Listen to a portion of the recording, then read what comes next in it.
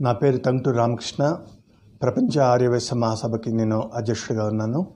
అలానే ఈ ఉభయ తెలుగు రాష్ట్రాలకి ఛాంబర్ ఆఫ్ కామర్స్కి జనరల్ సెక్రటరీగాను అనేక సేవా సంస్థలు మద్రాసులోని తెలుగు సంఘాలకు నేను నాయకుడిగా ఉన్నాను. ఈ రోజున ఒక పౌరుడిగా ఆవేదనతో మీకు మీ ముందుకు వస్తూ ఉన్నాను.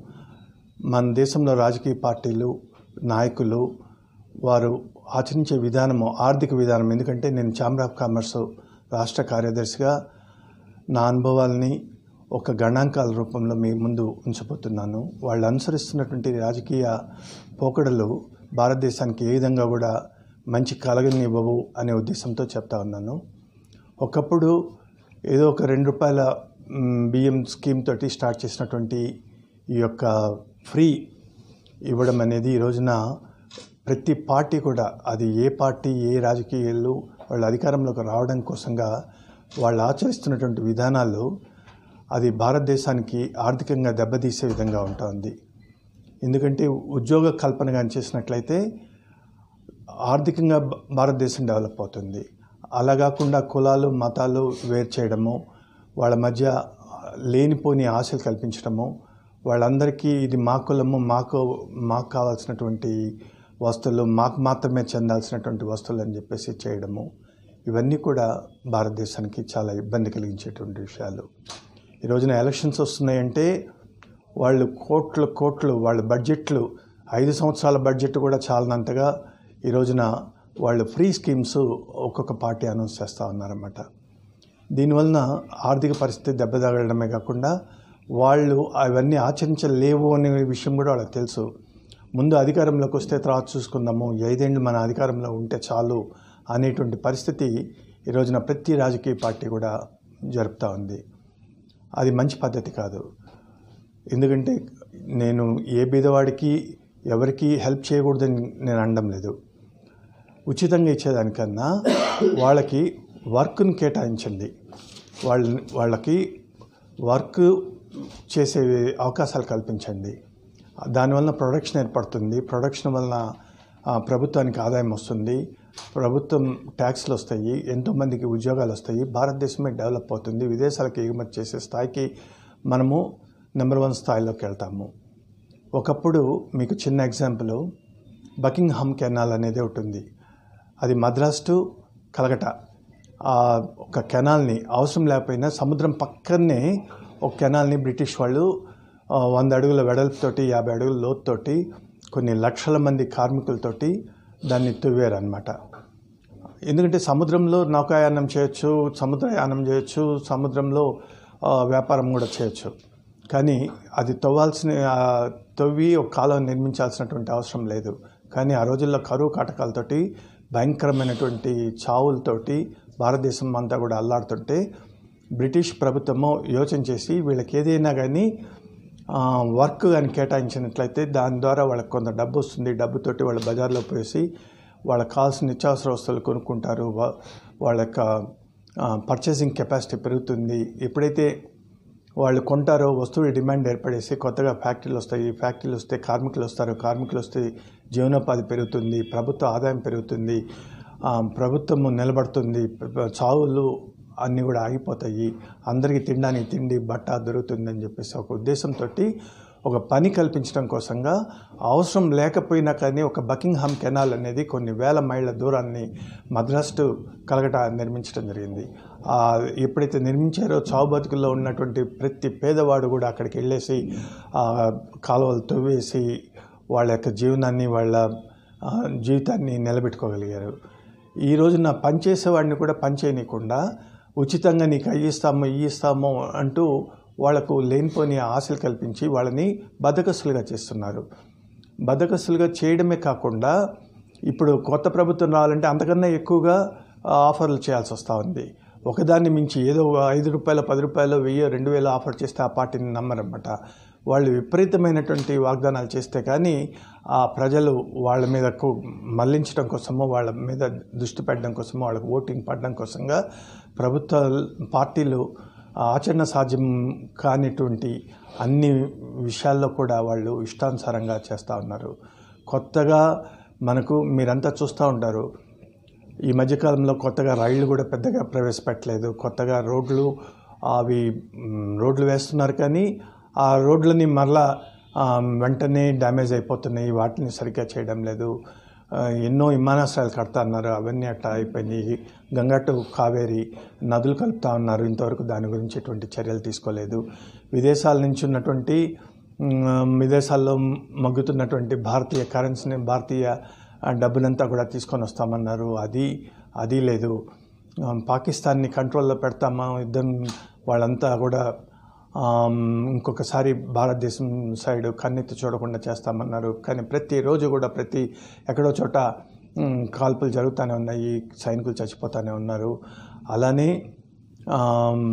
బంగారం రేట్ తగ్గిస్తామన్నారు. వస్తువుల ఉత్పత్తి పెంచుతామన్నారు. తర్వాత విదేశాలతోటి పోటీపడి మన యొక్క నాణ్యతను పెంచుకొని అక్కడికంతా కూడా పంపిస్తామన్నారు. అదేవిధంగా ప్రతి రాష్ట్రాలు కూడా ఈ రోజున నీటి కోసం యుద్ధాలు చేసుకుంటున్నాయి తర్వాత అనేక విషయాల్లో యుద్ధం చేసుకుంటా ఉన్నాయి. పోటీలు పడి ఈరోజున ఈ రోజున ఏ స్థాయికి రాష్ట్ర ప్రభుత్వాలు దిగుతున్నాయంటే ప్రభుత్వ ఆస్తులను అమ్మేసి వాళ్ళు చేసినటువంటి వాగ్దానాల్ని నిలబెట్టుకోవడం కోసంగా ఉన్న ఆస్తుల్ని స్థలాల్ని అన్నిటిని అమ్మేసి అమ్మేసైనా సరే వాళ్ళు వాగ్దానాలు నిలబెట్టుకోవాలని చెప్పేసి ఒక ప్రయత్నంలో ఉన్నారన్నమాట. అది మంచి పద్ధతి కూడా కాదు. ఎందుకంటే ఆస్తులన్నీ అమ్మేసినాక మన మన దగ్గర ఆస్తి ఉంటేనే మన పిల్లలైనా కానీ మన మీద గౌరవం ఉంచుతారు. అట్లాంటిది ప్రభుత్వము ప్రభుత్వం దగ్గర ఉన్న ఆస్తుల్ని స్థిరాస్తుల్ని చరాస్తుల్ని అన్నిటిని అమ్మేసినాక ఆ ప్రభుత్వాన్ని కానీ రాబోయే ప్రభుత్వాలను కానీ ప్రజలు కూడా గుర్తించరు వాల్యూ కూడా ఇవ్వరు.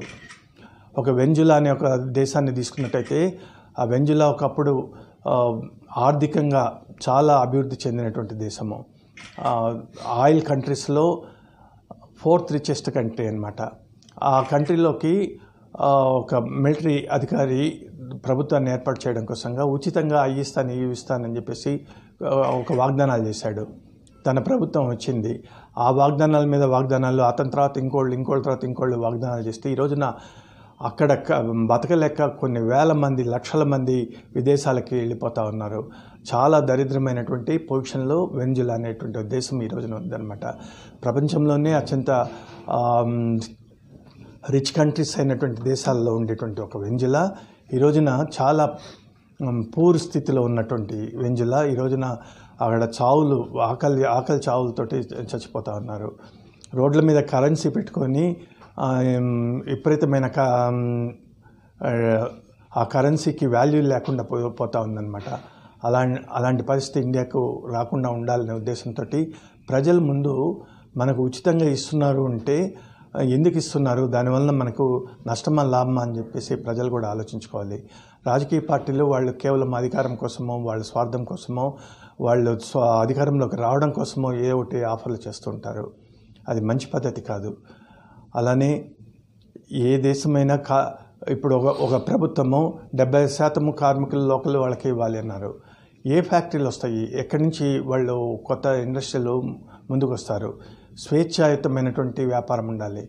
వర్క్ ఫర్ టుడే అనే ఒక అమెరికా పాలసీ కానీ ఉన్నట్లయితే నువ్వు సరిగ్గా కానీ పనిచేయకపోతే ఇమ్మీడియట్గా తీసేసేటువంటి అధికారం కానీ ఉన్నట్లయితే వాళ్ళు వాళ్ళ బాధ్యతని జాగ్రత్తగా నిర్వహిస్తూ నేర్చుకుంటూ కొత్త టెక్నాలజీని నేర్చుకుంటూ అప్డేట్ చేసుకుంటూ వాళ్ళు వర్క్ చేసేటువంటి అవకాశాలు ఉంటాయి అలా కాకుండా స్టాప్ చేయండి వర్క్ చేసేటువంటి అధికారాలు ఉంటాయి అలా కాకుండా ఎవరికి వాళ్ళు రాజకీయంగా వీళ్ళు ఒకసారి వర్క్లో వస్తే వాళ్ళని తీసేసే అధికారం లేదన్నప్పుడు అక్కడ ఇండస్ట్రీస్ దెబ్బతింటాయి. ఎందుకంటే వర్క్ చేసిన వాడికి వర్క్ చేయని వాడికి లేజీ ఫెలోకి అందరికి కూడా ఒకే రకమైనటువంటి హక్కులు ఉంటాయి కాబట్టి వాళ్ళని తీసేసే హక్కులు ఉండవు కాబట్టి యాజమాన్యానికి అనేక రకాలైనటువంటి కష్టం ఉంటుంది కాబట్టి వాళ్ళు పెట్టుబడి పెట్టి కష్టపడి ఒక వస్తువు ఉత్పత్తి చేయాలంటే ఎన్నో బాధ్యతలు ఎంతోమంది ఆఫీసర్లను ఎదుర్కోవాలి. అవన్నీ కష్టపడి ఇక్కడ రావాలంటే ఎంతో కష్టము. నేను లేబర్ని విమర్శించడం లేదు కానీ వాళ్ళ టెక్నాలజీని పెంచాలి వాళ్ళకు బాధ్యతలను పెంచాలి. వాళ్ళలో ఈ రోజున నేను పని చేయకపోతే నా పదవికి నా ఉద్యోగానికి ఇబ్బంది అనే విధమైనటువంటి భావన కల్పిస్తే ప్రతి ఒక్కడు పనిచేస్తాడు ప్రతి ఒక్క ప్రొడక్షన్ ఇప్పటికి మూడింతలుగా ఒక్కొక్క ఇండస్ట్రీ పెంచేదానికి అవకాశం ఉంటుంది. ఎప్పుడైతే నాకేం కాదు నన్ను ఎవరేం చేయలేరని ఒక బాధ్యత ఉంటుందో నెగ్లెక్ట్గా పనిచేస్తాడు. ఆ విధమైనటువంటి స్థాయికి వెళ్ళిపోయింది. ఈ రోజున మనం మంత్రులను చూస్తున్నాము. ఒకప్పుడు ఒక పేపర్ స్టేట్మెంట్లోనో లేకపోతే ఒక చిన్న కింద స్థాయి కోర్టు తప్పుపట్టినా కానీ లేదా ఇంకొక ప్రముఖ వ్యక్తులతో పట్టినా కానీ ఆ మంత్రులతో సహా ప్రధానమంత్రులతో సహా రిజిగ్నేషన్ ఇచ్చేసి వాళ్ళ నిజాయితీని నిరూపించుకునేటువంటి స్థాయి అనమాట ఈ రోజున కోర్టులు హైకోర్టులు సుప్రీంకోర్టులు తప్పట్టినా కానీ వాళ్ళు వాళ్ళని వాళ్ళు సమర్థించుకుంటున్నారే కానీ వాళ్ళ యొక్క ఆ, పదవుల్ని త్యాగం చేయడం లేదు. అదేవిధంగా ఈ రోజున మనం రాజకీయ నాయకుల్ని చూస్తున్నాము. ఒకప్పుడు ఎంతో హుందాగా విఘ్నతగా ప్రతిపక్షాలను కానీ వాళ్ళ పక్షాలను కానీ సాధారణ పౌరుని కానీ పౌరుడిగా గౌ గౌరవించేటువంటి స్థితి. ఈ రోజున టీవీ ఆన్ చేస్తే బూతులతోటి మంత్రులు కానీ మంత్రుల స్థాయి కన్నా ఇంకా పెద్ద స్థాయిలో కానీ బూతులతోటి భయంకరమైన ఆడవాళ్ళ ఫ్యామిలీస్ కూడా వినలేనటువంటి భయంకరమైనటువంటి బూతులతోటి మాట్లాడుకుంటా ఉన్నారు. ఇదేనా మన సంస్కృతి? దీని గురించైనా మనము కష్టపడి ప్రజాస్వామ్యాన్ని నిర్మించుకుంది? ఇలాంటి బూతులు వినడం కోసమైనా? మీరు ఒక మంత్రి పదవిలోకి వెళ్ళినాక ఎంతో హుందాగా మాట్లాడాలి. మీరు ఒకప్పుడు రౌడీ కావచ్చు ఒకప్పుడు పెద్ద పెద్ద ఛాలెంజ్లు చేసి చేసి ఉండొచ్చు ఒక స్థాయికి వెళ్ళినాక మిమ్మల్ని ప్రజలంతా గుర్తించి గౌరవించి ఆ పదవుల్లో నిలబెట్టినాక బూతులు మాట్లాడుకోవడానిక మీకు శత్రువులైనా కానీ అందరూ మీ ప్రజలే. ఒక మంత్రి అయినాక అపోజిషన్ అయినా ప్ర రూలింగ్ పార్టీ అయినా కానీ ఆ ప్రజలందరికీ కలిపి మీరు మంత్రియే కానీ కేవలము మీకు సంబంధించిన పార్టీలకు మాత్రమే మీరు మంత్రులు కాదనమాట. ఆ రాష్ట్రానికి ఆ దేశానికి సంబంధించిన ప్రజలందరికీ కూడా మీరు మంత్రులు. కాబట్టి అది గుర్తెరు గుర్తు తెలుసుకొని మీరు బాధ్యతగా మాట్లాడాలి. ఎదుటి మనిషికి కూడా మీరు ఛాన్స్ ఇచ్చేటట్టుగా మీరు ఒక మాట అంటే వాళ్ళు నాలుగు మాటలు అంటారు. వాళ్ళు ఒక మాట అంటే మీరు సైల్ మీరు హుందాగా ప్రవర్తిస్తే వాళ్ళు కూడా నెక్స్ట్ టైం హుందాగా ప్రవర్తించడానికి ప్రయత్నిస్తారు. లేకపోతే వాళ్ళ సైడ్ తప్పు ఉంటుంది మీ సైడ్ సానుభూతి పెరుగుతుంది. అది పోగొట్టి ఛాలెంజ్లు చేసుకోవడము తొడలు కొట్టుకోవడము మీసాలు తిప్పుకోవడము బూతులు మాట్లాడుకోవడము ఎక్కడ తెలుసుకుందామో రా అంటాము. అసెంబ్లీ లేదు బజార్లో లేదు టీవీల ముందర ఎక్కడ పడితే అక్కడ అసహ్యంగా మాట్లాడుకుంటూ ఉన్నారు. అది ప్రజాస్వామ్యానికి ఎంత సిగ్గుచేట ఒకసారి ఆలోచించండి. ఒక పార్టీ తరఫున మీరు నిలబడినప్పుడు ఆ ప్రజలంతా కూడా పా మిమ్మల్ని చూసి ఓటేయడం లేదు అది మర్చిపోతున్నారు. ఆ పార్టీలోని ప్రముఖమైనటువంటి ఆ పార్టీ సిద్ధాంతాలని ఆ పార్టీ నాయకుల్ని అందరినీ చూసి ఆ పార్టీ మీద ఉన్నటువంటి గౌరవం చూసి వాళ్ళు ఓటేస్తున్నారు. మీరు గెలిచిన వెంటనే కొంతమంది వాళ్ళ పదవుల కోసమో స్వార్థం కోసమో మనీ కోసమో ఇంకో దేనికోసమో వాళ్ళు ఇమ్మీడియట్గా చాలామంది ఈ రోజున సిగ్గుపడకుండా వెళ్ళిపోతున్నారు. కనీసం వాళ్ళని నిలదీసి ప్రజలు కూడా అడుగుదామనేటువంటి ఆలోచనలో కూడా లేదు. నీకు ఓటేసింది ఈ పార్టీ తరఫున ఈ సిద్ధాంతాల కోసం ఓటేసాము నువ్వు ఎలా మారుతున్నావు అని చెప్పేసి ప్రజలు అడిగే స్థాయిలో లేరు పార్టీలు అడిగే స్థాయిలో లేరు ఎవరు ఏ పార్టీలోకి మారిపోతున్నా కానీ అడిగే స్థాయిలో లేకుండా పోయారు. అంటే రాజకీయాలు ఏ స్థాయిలో దిగజారుతున్నాయి? ఇప్పుడే ఇలా ఉంటే ఇంకో పదేళ్ళ తర్వాత ఏ విధంగా ఉంటుంది అనేది ఒకసారి ఆలోచించండి. ప్రజలందరికీ కూడా విజ్ఞప్తి చేస్తా ఉన్నాను. ఇది మారుతున్నటువంటి రాజకీయాలని ఎక్కడో చోట ఫుల్ స్టాప్ కానీ పెట్టకపోతే ఇంకా వరస్ట్ అవుతుంది. ఇది ఈ రోజున ఈ పార్టీ ఆ పార్టీ అనేది లేదు. ఒక క్రమశిక్షణ లేదు. ఒక అది రౌడీజమా లేకపోతే ఇంకో మామూలు వ్యక్తులు ప్రజాసేవ చేస్తున్నటువంటి వ్యక్తులు గౌరవంగా ప్రజలు మంచి కోరేటువంటి వ్యక్తులు తగ్గిపోతా ఉన్నారు రాజకీయాల్లోకి. రౌడిజమో రేపిజమో లేకపోతే ఎంత పోలీస్ కేసుల్లో ఇరుక్కుంటారో వాళ్ళకు వాళ్ళకే ప్రజలు మ్, బ్రహ్మరథం పడుతున్నారు. వాళ్ళు ఇచ్చేటువంటి ప్రలోభాలకే ఆ రాజకీయ ఓటర్ల టైంలో ప్రలోభాలు చేసేటువంటి ఆ ఓటింగ్ టైంలో ఇచ్చే వాటికే ఇదైపోతున్నారు. అది మే మన భవిష్యత్తుని మనమే కాలు రాసుకుంటా ఉన్నాము. కాబట్టి మీరందరూ కూడా ప్రజలకి ఒక విజ్ఞప్తి చేస్తున్నాను.